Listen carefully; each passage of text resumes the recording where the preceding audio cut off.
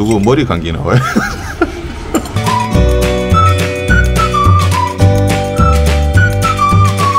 양념을 간장하고 이거 먹어